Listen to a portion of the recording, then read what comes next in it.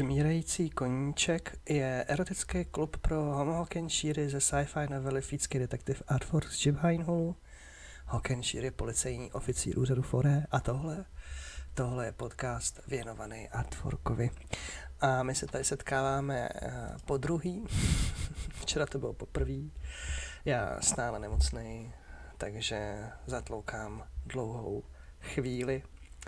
Um, tak jsem uh, zkoušel nahodit eh, podcast, eh, kde to šlo, podařilo se mi to na Spotify a na YouTube to poběží dál, když jsem koukal, že se to nějak jako nelíbí. No co, já to nedělám proto, jestli se to někomu líbí nebo ne, já to dělám proto, že mi to dělá radost, že mě to baví, že je to něco, s čím si dokážu představit, že jdu dál několik týdnů, měsíců, možná roku, jako šmírající koníček je prostě pro mě taková srdeční záležitost eh, a doufám, že tomu tak i nadále zůstane.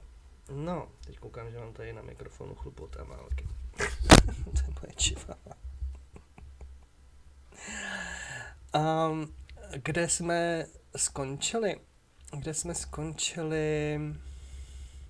No, my jsme vlastně, co se týká Artforka, eh, neprobrali eh, všechno, co bylo potřeba, aby jsme si v klidu přečetli první kapitolu, protože přece jenom těch věcí, těch termínů tam bylo víc. A já si tady teď krátce začtu, kde to asi tak cirka bylo, protože já jsem si nedělal žádnou evidenci, ani jsem si to zpětně nepouštěl. Nebo zpětně jsem si to pouštěl, ale ne do konce. Takže jsem vždycky skončil u toho, než jsem začal probírat právě ty termíny. Hmm. No. Kolej show v Čenžužej huli. To, co jsem na dnešek udělal, že jsem si dal slovníček zvlášť, abych nemusel tak složitě přelistovávat, tak jako e, včera, a teď, když si to říkám, kolej show, v Čenžužej Huli. Čenžužej Huli je vlastně lokalita v Nastreamfat XC, no? Stejně jako je Jibhainhulu. Jo, Artfork je z Jibhainhulu. A když říkám kolej show v Changeovej huli, to je místo, kde mu zabili kolegyni na mást prstí. Je to poblíž chrámu Aktamo. No a chrám Aktamo, najdu ho tady, je taková, takový, jak to, jak to říct, takový Petřín, takový Petřín na Streamfat 1589 XC, no. Já vlastně teď tady zase přemýšlím ty tady listu a nevím, čeho chci tady dolistovat. Já se tady vždycky u něčeho zastavím.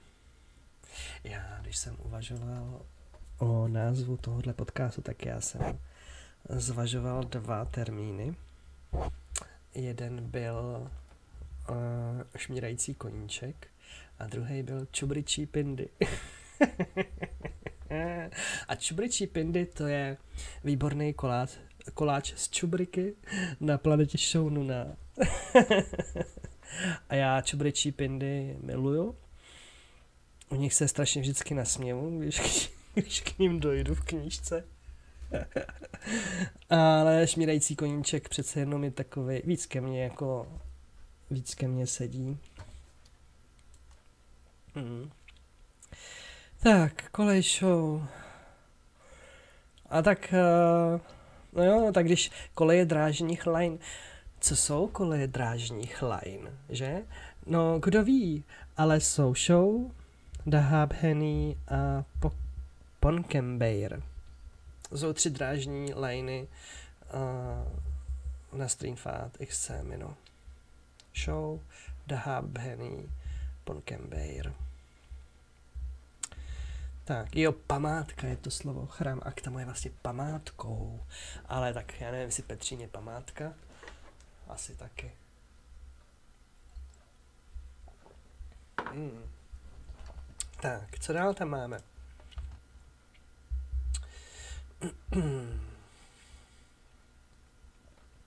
Mhm.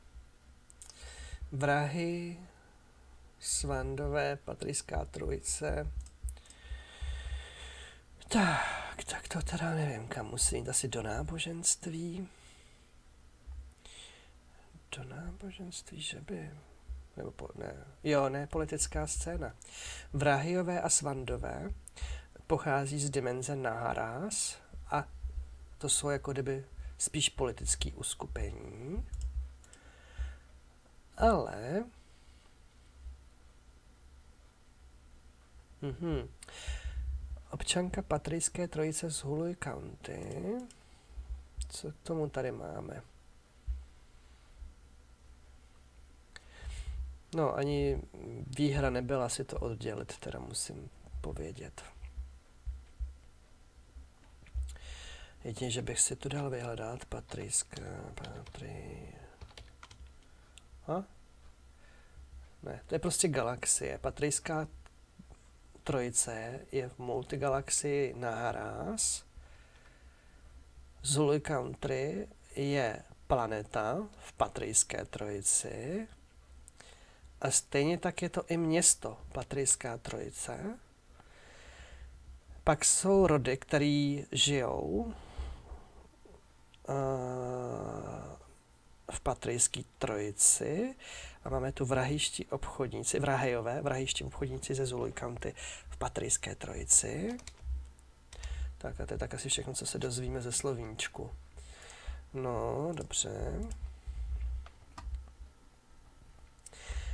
Jo, proto jsem se, proto jsem se domníval, že je to něco s náboženství, že tady máme ještě sektu Dvantoré, která dlouhý léta vyráběla vrahýským obchodníkům sklíčka do čmuchaček na valenský tabák. Jo, to je něco, co se hodí na... Uh, já chci říct na FX6, ale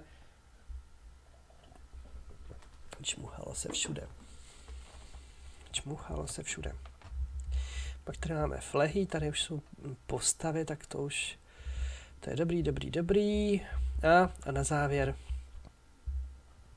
odložte cené kovy, přízdobenky tekuté kapsule, kapsule s tvrdobobnatými chůlemi. To už je prostě takový vesmírný merch, řekněme. Dobře, tak. Takže bychom mohli spolu vlastně uh, projít první kapitolu, když už teda známe aspoň teda některé ty termíny, nebo známe, prošli jsme si je. No, takže v multigalaxii naraz, což je, což je vlastně dimenze, která patří mezi bezpečný dokonce. 19 bezpečných dimenzí. Známá je největším případem sexuálních úžehů. A ano, pěstuje se tady valenský tabák. Aha, aha, aha.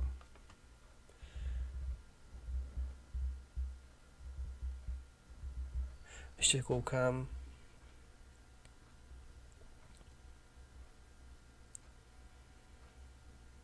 Mhm. Mhm, mhm. Já jsem si nevzal nejaktuálnější slovíček proto. Jsem si vzal nějaký slovíček, který byl v procesu, ve kterém mi chybí vypsaný uh, multigalaxie. Tak proto. Ještě bych se mohl pojít do knížky, jestli to tak je. Ale asi to tak nejspíš bude. Přesně jsem tak hloupý, abych si do multigalaxií zapomněl napsat na haráz. O, asi jsem hloupý. Stane se. Dobře. Takže máme dimenzi, na haráz multigalaxy, na haráz máme patrijskou trojici v multigalaxii na haráz a patrijský, patrijskou trojici město. Dobře. Dobře, dobře, dobře, dobře. No, tak já nevím, jestli tady rozčítat právě teď jakoby první kapitolu. Ale asi jo, jinak se k tomu nikdy nedostanu. Tak, pojďme na to. Takže, Fícký detektiv Artwork z Jibheinhulu, výchozí bod je název knihy. A první kapitola se jmenuje FX6 Fee. Takže nasajte teď ještě všechny slovíčka, termíny. Jdeme na to. A kdo by si to pomyslel, že zrovna detektiv Fork bude jedním z těch, kdo vyhraje luxusní meziplanetární výlet na ostrov v souvězdí mezi ploty. Tak toto nezní nějak úchvatně, ale pravdou je, že ostrov je kouzelná planeta. Možná v tom hraje roli i to, že když se plážujete v noci na břehu solných moří, na nočním nebi vidíte dvě řady hvězd. Odtud název mezi ploty.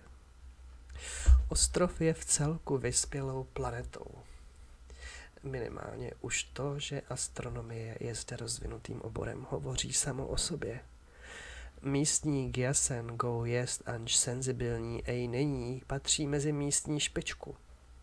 Astronauti odtud létají nejdál, až na planetu FX6 Phi v galaxii Mušremí. A právě odtud Artfork přiletěl. FX6V byla jeho domovskou základnou, konkrétně město na Strinfát 1589 XC zkráceně na Strin XC v lokalitě Jibhainhulu ve čtvrtě Marker Place v ulici Devahí 9 v devátém patře desetiposchodového domu balinkvistických střel v bytě číslo 152A si právě balil pár posledních věcí do ultratenkého flítru. Na stole ležel poslední magazín Hajinba, klíčenka od stroje FA a karty z plastu nutné k identifikaci na drážních lajnách. Moc toho nepotřeboval. Artwork byl zvyklý cestovat na lehko a se vším, co by si chtěl vzít, by ho na palubu stejně nevzali, natož kdyby cestoval na své náklady. Ani by na platbu neměl.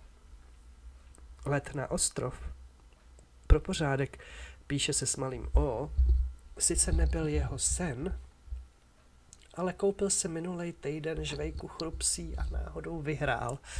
Kód z papírku si obtiskl na zápěstí a pak v jednom baru, když zapíjel, fanfaródní náladu uviděl v novinách otisklý výherní kód. Zrovna zastřelili Mahámu Flightru, vůdce povstání džebáckých ostroflejců. Artfork jako člen balinkvistických střel si musel dávat nyní pozor. Ostroflejci číhali všude a antény byly v pohybu. Co na tom, že se Art snažil do ničeho nemíchat? Flejci prostě jeli po každým, kdo měl na nose vytetovaný znak mokvínskou barvou. Je svítivá nedá se skrýt. Svítí přes oblečení, i když ho jeden vrství. Zabili mu kolegyni na mást prstý z koleje show v Change Huli poblíž chrámu Aktamu. Fork zapíjel šílený den a netěšil se na nic jiného, než na to, aby mohl zmizet co nejdál. Kdo by to byl, řekl, že se mu jeho přání splní. A zvlášť v téhle době, kdy v mezigalaktickém prostoru probíhá víc válek než za posledních tisíc let. Zvýšil se také počet černých děr. Časoprostor se křiví víc než kdy jinde. Čert, aby o to zakop. Fork měl na krku identifikační kartu, spíš takový modul, který se v případě meziplanetárních cest zasunul spolu s ostatními moduly do palubovky a počítač vyhodnotil, jestli jsou cestující kompatibilní a schopní vzájemnosti během letu. Naposledy se to stalo před deseti lety, kdy při jedné právě tak dlouhé cestě vesmírem došlo ke zhroucení celé posádky a osazenstva na palubě, a to kvůli jediné nesouladné myšlence. Vrahy neměl rád Svandy. Na palubě byla občanka patrijské trojice z Holy County. Její prababička byla v sektě Dvantore, která dlouhá léta vyráběla vrahýským obchodníkům sklíčka do čmuchaček na valenský tabák. A to stačilo, aby to rozložilo celou loď na elektročástice. Cestování v kvantových vlnách není radno podceňovat.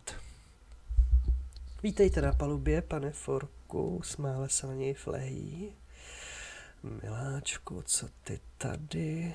Flehý byla Forkova milenka, jedna z mnoha, samozřejmě, ale z toho se Flehý nehroutila, srdce si nechala výmout za žlabohevý vlády.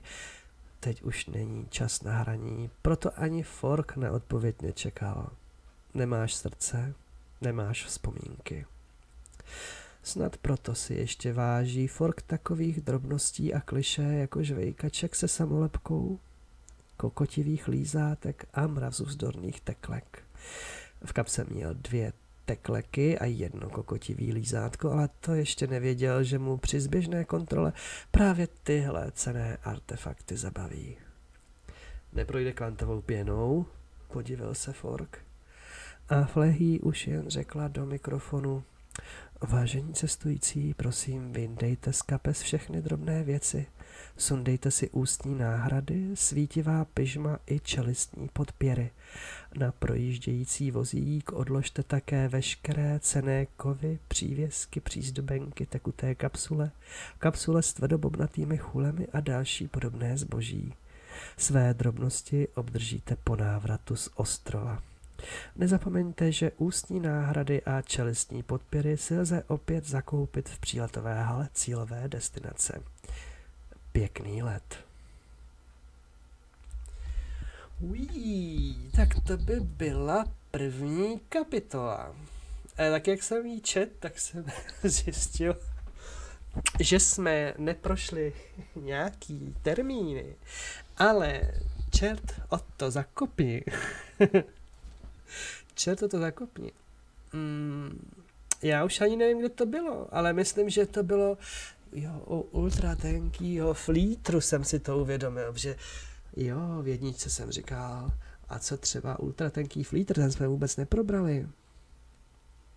Co je magazín Hajinba? A co je stroj Fa? No tak nemusíme vědět. Všechno dozvíme se určitě něco i později, že?